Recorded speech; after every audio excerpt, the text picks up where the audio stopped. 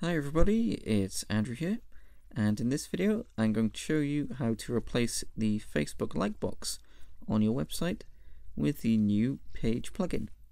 If you hadn't heard the news already, Facebook is phasing out the traditional like box with a newer, more streamlined page plugin app. It's just a little bit prettier and also gives Facebook more real estate on your website. Here's an example of the one that I've installed on my page and people can like and share your page directly from the plugin see if their friends have liked it and scroll down to see your latest posts. All like boxes will be replaced by the page plugin on June the 23rd so you don't have to do anything but there's no harm in getting in ahead of the game, and by taking care of the installation yourself, you ensure that everything works just as it should, and you can customize the appearance of the plugin just as you like.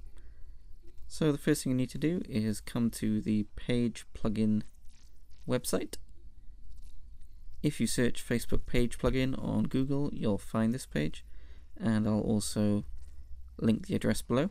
And when you're here, all you need to do is enter the URL of your page, select the width that you want your page plugin to be, and the height, and then choose from the options available, such as showing the faces of friends who like your page, whether you want your cover photo to show, and whether you want a stream of your recent page posts to appear below.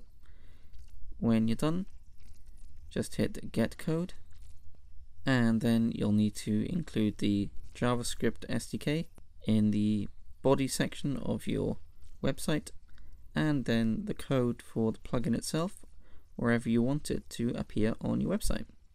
Just copy and paste these and that's all there is to it. Thanks very much for watching and goodbye.